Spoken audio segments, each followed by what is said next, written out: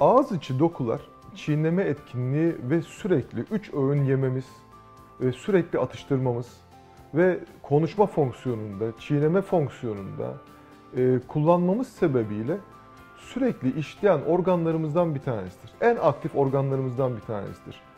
E, bu nedenle e, sürekli bakıma ihtiyaç olan ve kontrol edilmesi gereken 6 aylık kontrollerde bulunması gereken durumlardan bir tanesidir.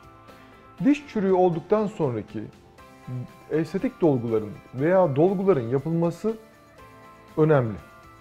Dolgular yapılırken anatomik yapılması, dişle bütünlük içerisinde olması, yandaki komşu dişte olan inci tanesi gibi teması ve omuz omuza mücadele edecek şekilde anatomisi ve şekli ayarlanması, anatomik olarak şekilli yapılması, çiğneme etkinliğini en fazla sağlayacak duruma getirmek gerekiyor.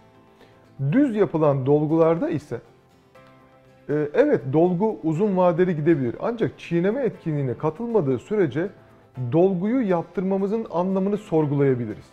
O nedenle anatomik dolgu belki biraz girintisi çıkıntısı itibariyle e, biraz fazla olabilir ancak girintisi çıkıntısı olmadı, olduğu durumlarda kırılganlığı artabilir. Ancak kullanıldığı sürece çiğneme etkinliğini olabildiğince fazla yaptırır. Yani ağızda kaldığı sürece çiğneme etkinliğini fazla yapılır. Ancak e, çeşitli sebeplerle çiğneme etkinliğinin devamlılığı itibariyle bir ömür boyu devamlılığı olması itibariyle veya ağız içerisine alınan gıdaların soğuk, sıcak, genleşme e, veya da e, çekme olması itibariyle ağızdaki dişler bunlardan etkilenmemekle birlikte dişlerin dolguları bu tür e, beslenme tiplerinden etkilenirler. Ilıktan etkilenmemekle birlikte soğuktan, sıcaktan ve zamanla kullanılmaktan, sert gıdalardan yenilmekten dolayı etkilenirler ve kısmi olarak şekil değiştirirler.